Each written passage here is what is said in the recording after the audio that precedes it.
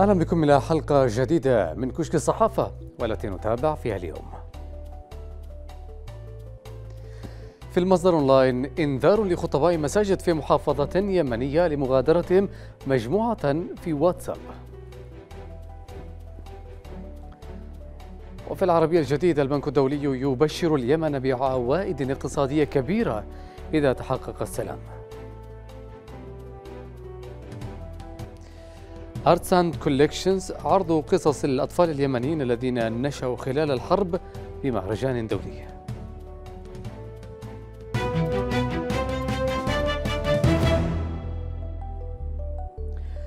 منذ ثلاثين عاما وهو ينادي عليهم بأن يشتروا منه حتى أصبح صوتا مألوفا لمعظم أحياء تعز نجيب الكمالي أعد تقريرا عن أشهر بائع بطاط في تعز عنون الكمال تقريره المنشور في موقع خيوط حيدر بائع البطاط المتجول. وفقا للتقرير فقد أصبح اسمه ماركة تجارية مسجلة وجزءا أصيلا من الذاكرة الشعبية في المدينة المحاصرة. بصوته المتميز وعباراته الشهيرة التي يطلقها بعفوية الريفي البسيط لتسويق بضاعته منذ الصباح الباكر في أحياء المدينة. حجز موقعا في قلوب الناس قبل ألسنتهم التي أدمنت تذوق ما يقدم لهم من أنواع شعبية ساخنة وشهية. حيدر ليس اسمه الحقيقي وإنما اسم الشهرة بينما اسمه الحقيقي هو أمين محمد سعيد مثنى. غادر أمين قريته في ريف مدينة شرع السلام عزلة تيفوع التابعة إداريا لمحافظة تعز وهو في العاشرة من عمره. ليستقر به الحال في قلب مدينة تعز منتصف ثمانينيات القرن الماضي. ومنذ تلك اللحظة حكايته الطويلة المترعة بالدهشة مع المدينة وساكنيها. وجد حيدر في بيع البطاطا المسروقة والعطر أنسب المهن الملائمة لطفل في مثل عمره وطأت قدماه المدينة لأول مرة. عند السابعة صباحا يدشن حيدر جولته في أزقة وحواري المدينة. ورغم شداد وتيرة الحرب التي دارت في المدينة ومحيطها فقد رفض خيار النزوح وظل متشبثا بالمدينة وروحها كما ظل صوته يؤنس وحشة المدينة ويصل إلى جبهات القتال التي يصل إلى قربها.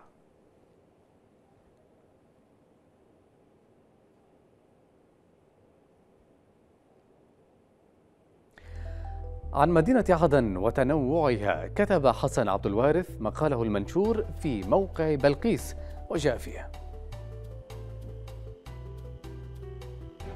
عدن مدينة قديمة قدم التاريخ رابضة بين البحر الذي همد هيجانه والجبل الذي خمد بركانه.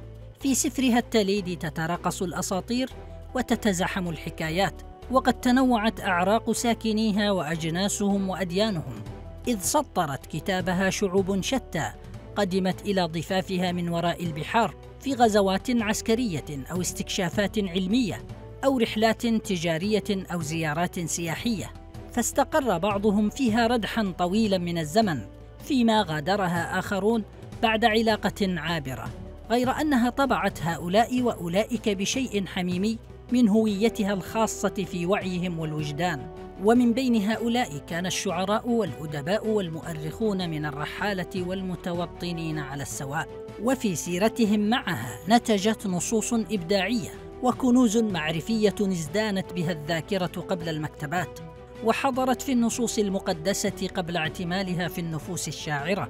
فقد كانت عدن ملهمة الكثيرين من أهل الأدب من عرب وعجم ممن نزلوا في حياضها وأنسوا إلى ناسها واستقروا على ضفاف خليجها وتعاطوا معها صحون الصحبة وكؤوس المحبة ودفاتر الأيام. ومثلما قبعت عدن في أقصى يسار جزيرة العرب فإن قدرها ذات زمن كان أن تحتل هذا الموقع اليساري القصي أيضا من الخارطة الجغرافية إلى الخارطة السياسية فكانت قبلة لحلم الفقراء في جنة على الأرض تظللها العدالة والكفاية والمساواة لكن الحلم استحال سرابا ذات زمن ويمن لاحقين.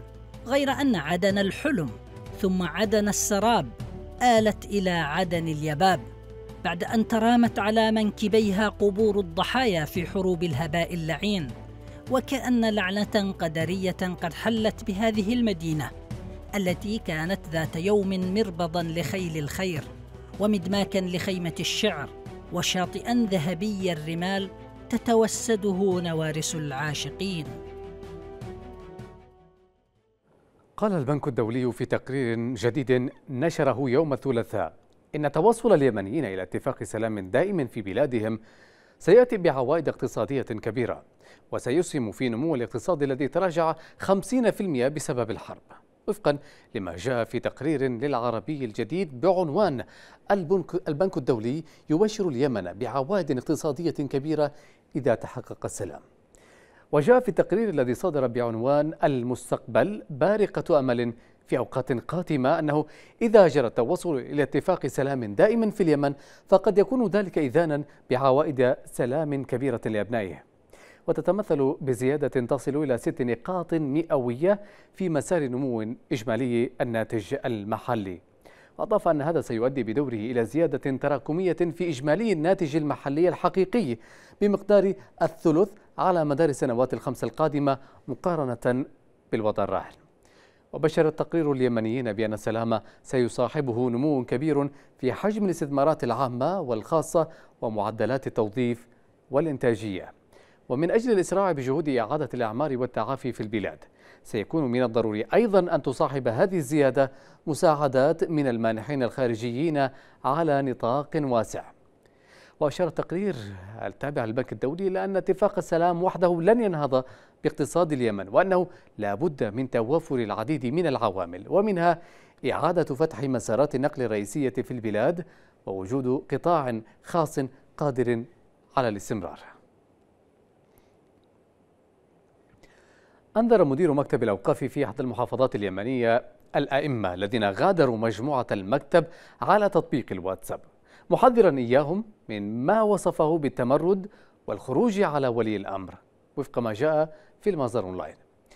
وجاء في مذكرة وجهها مدير مكتب الأوقاف في شبوة محسن محمد حسين للآئمة والخطباء وتداولها ناشطون على مواقع التواصل الاجتماعي إلى جميع الأئمة والخطباء الذين خرجوا عن مجموعة الأوقاف والإرشاد سواء بمديرية عتق أو بيحان وأسماؤهم مدونة عندنا كل باسمه. وينقل الموقع عن مدير الأوقاف. أعلم أن الله سبحانه وتعالى قد أوجب علينا السمع والطاعة لولاة الأمر وطاعتهم من طاعة الله.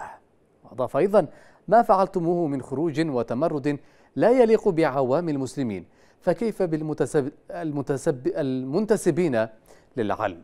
وعلى هذا فإننا نوجه لكم هذا الإنذار من المعاودة لكم نوجه لكم بهذا الإنذار من المعاودة لمثل هذا الفعل. ولقيت المذكرة سخرية واسعة على مواقع التواصل الاجتماعي في اليمن. وتعليقا على ذلك قال الصحفي عبد الله باراس من سيخرج من مجموعة سماحته متمرد خارجي والخوارج وجب عليهم الحد. اليمن مجال عام مصادر وخطاب مأزوم. تحت هذا العنوان كتبت بشرى المقطري مقالها المنشور في العربية الجديدة. أسهمت حالة الحرب والانقسام السياسي والجغرافي في تكريس تمايزات محلية على مستوى الأولويات المجتمعية والتحديات الاقتصادية والإنسانية. وكذلك الخطاب المحلي ودائرة التأثير وحدودها إذ إن التمايز الناشئ عن سيطرة سلطات الحرب أنتج واقعا يختلف من منطقة يمنية إلى أخرى من ارتدادات سياسة السلطات على المجتمع إلى البنى المدنية الفاعلة وأشكال تفاعلها. بحيث أدى ذلك إلى تباين المجال العام وحدوده وقنواته.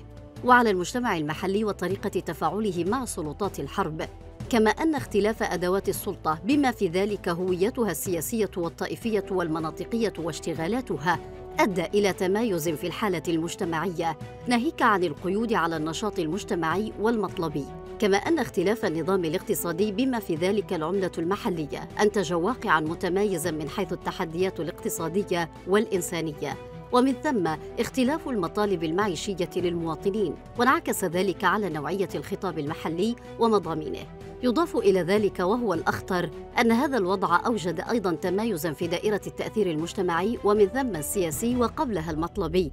والمظلومية وشبكات المناصرة وتفاعلاتها بحيث انحصر الخطاب الذي تنتجه النخب المحلية في أطر شبكاته الاجتماعية وجعل التفاعل في القضايا المطلبية في حدود ضيقة يخضع لتحيزات وتفضيلات القوى والنخب المهيمنة واشتغالاتها.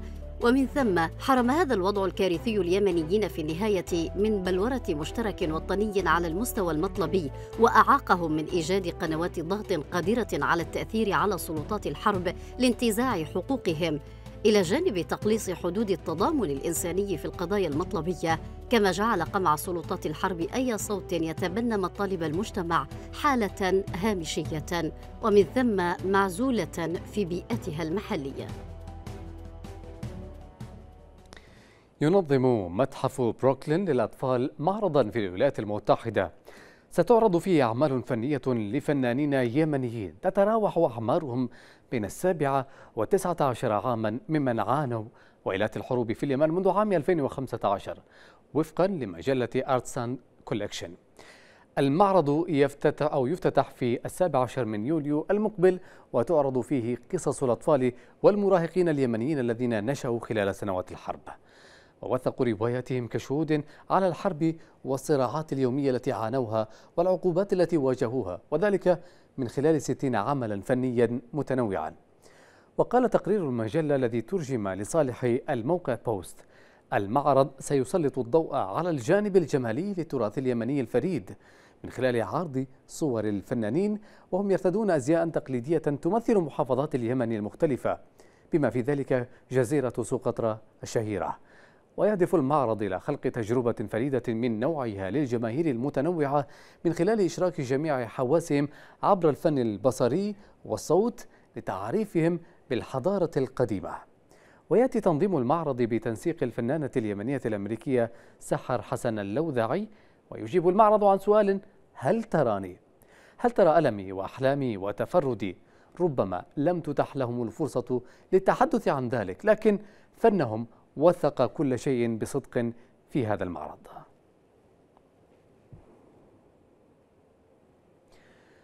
دعوة للقراءة. تحت هذا العنوان كتب سومر شحادة مقاله في العربي الجديد. مضيفا فيه القراءة حدث. لا في كونها تقتضي جلوسا أمام الكتاب في المكتبة أو في البيت بالوسائط المختلفة للقراءة ولا في كونها تقتضي أن يقتطع المرء من وقته كي يقرأ ولا لشبهها بلقاء صديق. مع ما في اللقاء من طقوس. أقول صديق لأن القراءة حديث باتجاهين أحدهما من الكتاب الذي يقول إلى القارئ الذي يصغي والآخر هو التأويل. أقصد ما يراه القارئ في الكتاب. القراءة حدث لاعتبارات كثيرة، لكن أخص بهذا التوصيف ما ينتمي إلى العالم الداخلي للمرء، إلى الإدراك، إذ كثيرا ما تصنع الكتب جانبا من شخصية قارئها، غالبا ما يبدأ المرء القراءة من محيطه، من مكتبة المنزل، من نصيحة أستاذه في المدرسة أو أحد إخوته. بشكل أو بآخر، يبدأ المرء قراءته من محيطه، ومن مرجعياته الاجتماعية التي يكون محظوظا إن كانت مرجعيات تصنع افقا انسانيا في المخيلة وتنميها نحو الآخر لا استغلاقا أو عودة إلى الذات أو نكوصا ثم لاحقا تصبح مرجعيات الآخرين مرجعيات القارئ نفسه. إنه يرثها. وقد يواصل قراءته بناء على مرجعيات الآخرين التي تبناها في مرحلة ما من حياته ويستمر الحال إلى أن يقع على نصوص فارقة تعيد ترتيب قراءته ونسج وعيه. وما يجعل نصا ما نصا فارقا ليس فقط الجماليات بل تلك النوعية التي تستهدف الوعي بصورة مباشرة لا تخلو من أسلوب خاص. الآن إلى موضوع مختلف تماما. قالت مجموعة لحماية الكائنات البحرية إن حوتا أبيض كانت تحوم حوله الشكوك. إن روسيا تستخدمه للتجسس تمت رؤيته قرب سواحل السويد. موقع البي بي سي قال إن الحوت الذي يعرف محليا باسم هافالديمير كان يعيش قرب سواحل النرويج منذ عام 2019 مع وجود أنشطة روسية مثبتة فوق ظهره. وقضى الحوت أعواما يعوم قبالة سواحل النرويج.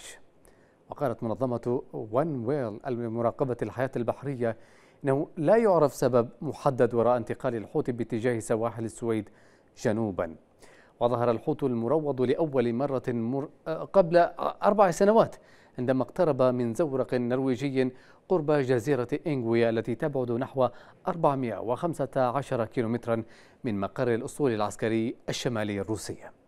وعندما شوهد للمرة الأولى كانت هناك أنشطة على ظهره مثبت بها كاميرا للتصوير سواء فوق أو تحت الماء.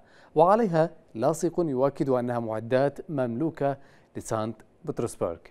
وفي أعقاب ذلك جرى استقصاء الأمر من قبل الاستخبارات النرويجية التي أخبرت بي بي سي لاحقا أن الحوت في الغالب مدرب بواسطة الجيش الروسي ومن يومها يعرف الحوت في المنطقة باسم هافالديمير. وهي الكلمة النرويجية التي تعني حوت فلاديمير كناية عن فلاديمير بوتين الرئيس الروسي. ومن جانبها لم تعلق روسيا ابدا على أن هافالديمير قد خضع للتدريب من جانبها كما أنكرت وجود أي برامج عسكرية لديها لتدريب الثدييات البحرية. الآن إليكم مجموعة من الصور المنوعة حول العالم اختارها محرر صحيفة الجارديان البريطانية.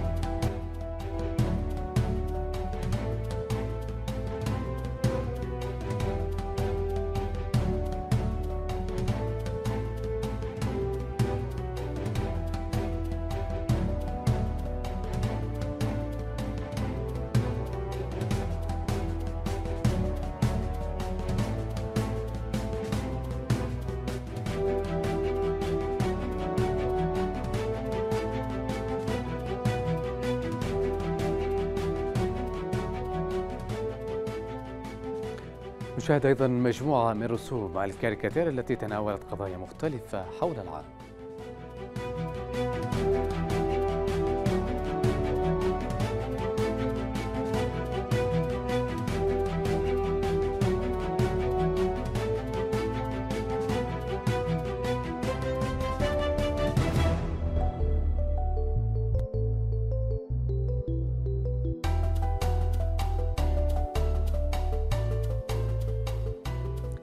إذا مشاهدينا كان هذا كل ما لدينا في هذه الحلقة. نشكركم على طيب المتابعة وإلى اللقاء.